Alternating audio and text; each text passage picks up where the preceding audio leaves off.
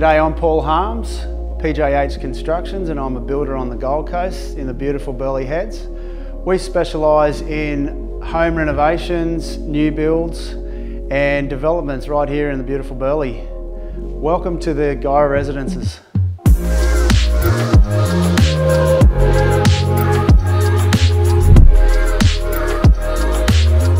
In both the Guyra residences, we've used DIY blinds, which have been amazing to work with again. We're here in the master bedroom of 4A Guyra Avenue, and we've had to put a curved track up in behind our custom built pelmets.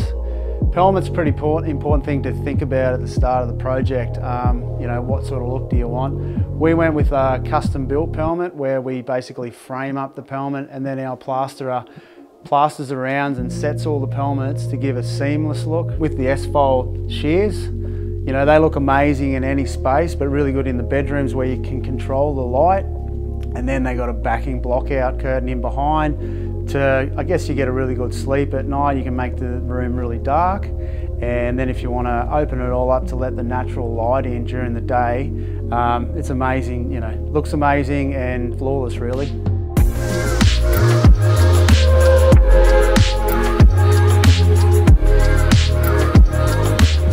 Think my favourite space in the house would have to be, you know, the kitchen, dining area, how much light you got through there and the heights of the ceilings and the beautiful cabinetry and the floor and the stone finishes and then that leads out to your alfresco area with a beautiful plungy pool.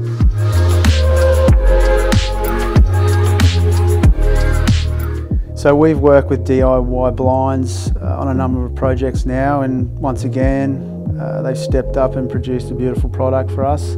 From the design consultation to the measure up, right through to installation, everything happened exactly how we thought it would. The process took about 10 days from start to finish. It really sets off the house to be honest and without them, yeah, the home you know, would not be complete.